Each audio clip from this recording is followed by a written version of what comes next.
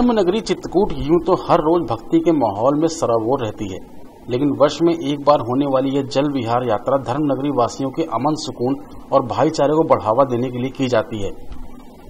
भारतीय संस्कृति और आस्था का गजब घालमेल है। कहीं आस्था मनोकामनाओं की पूर्ति के लिए है तो कहीं जगत कल्याण को।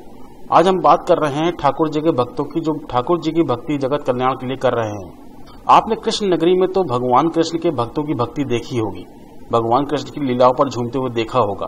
किंतु आज हम आपको दिखाते हैं प्रभु राम की तपोस्थली चित्रकूट में भगवान कृष्ण के भक्तों का उत्साह। कृष्ण जन्म से लेकर जल विहार तक ठाकुर जी की लीलाओं का आयोजन बड़े ही भक्ति भाव से विशाल रूप से किया जाता है। जल विहार यात्रा शंकर बाज़ार से शुरू होकर चित्रकूट रामघाट पहुंचकर मंदाकिनी नदी में नावों से श्री कृष्ण को जल विहार कराया जाता है और अगले दिन देसी घी का हज़ारों श्रद्धालुओं को भंडारा खिलाया जाता है।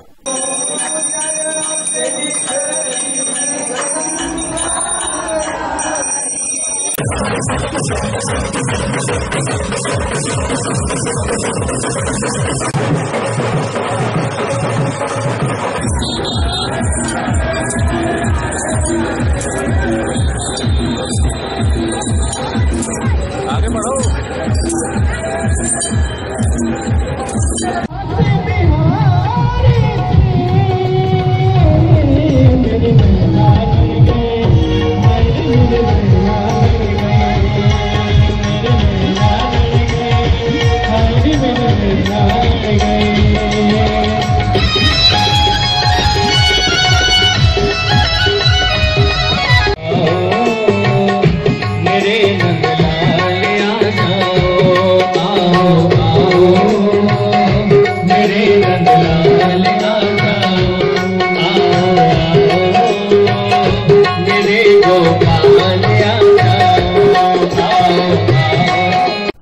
आइए आपको रूबरू कराते हैं ठाकुर जी के अनन्य भक्त प्रख्यात ज्योतिष पंडित नारायण दत्त त्रिपाठी से, जो ठाकुर जी की उपासना जगत कल्याण एवं प्रकृति को बचाने के लिए करते हैं।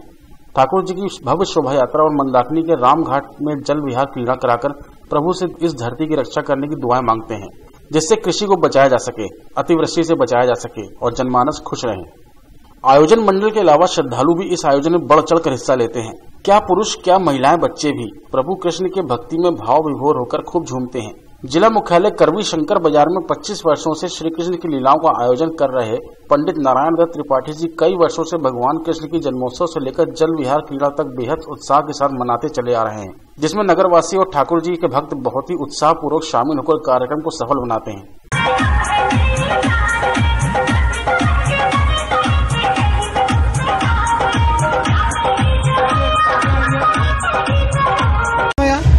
सर्वे भद्राणी पश्यंतु माँ कश्चित दुख भाग भवे। सबके घर में मंगल हो सबके घर में उत्सव हो सबको बेटा हो सब खुशहाल हो और सबके घर में कन्हैया जी कृपा बनी रहे।